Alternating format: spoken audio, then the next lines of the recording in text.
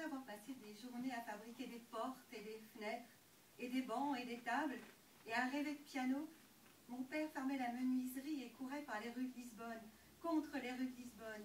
Il courait et déchirait les rues de Lisbonne. Ensuite, il prenait part aux courses du dimanche. Il prenait un train à la gare Santa Polonia et voyageait seul, en seconde classe, dans les environs de la capitale, ou bien courait à un rythme serein Les jours de marathon, quand mon père arrivait, les autres concurrents le regardaient de loin. Dans leur regard, il pouvait y avoir de la crainte ou du dédain. En vérité, il y avait de la crainte, et pour cette raison, il feignait le dédain. Mon père les ignorait, il ne vivait que dans sa propre lumière.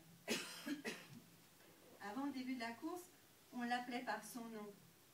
Quand il passait, les gens disaient Regardez, c'est Lazaro.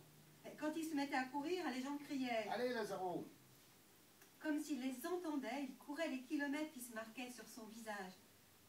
Près du but, les coureurs le suivaient qui, dans leurs derniers efforts, pouvaient le saisir par sa chemisette, pouvaient lui donner des coups dans le dos, pouvaient même le renverser, mais il arrivait toujours le premier, boitant quelquefois, ou avec les paumes de mains écorchées, ou avec des fils de sang qui lui coulaient des genoux. Il était glorieux et infini. Il recevait sa médaille, il baissait la tête. Les gens l'applaudissaient, l'admiraient et disaient son nom.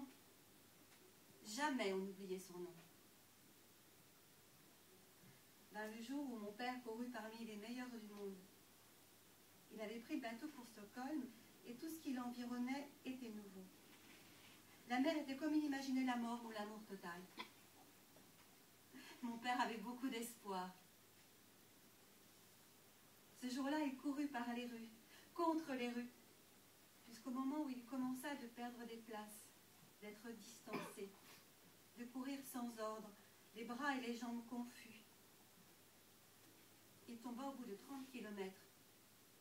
Les gens l'entourèrent qu'il ne connaissait pas. On l'emmena à l'hôpital et il mourut. Il cessa de respirer et penser, mais cesser d'être mon père. Ce fut le jour où je naquis.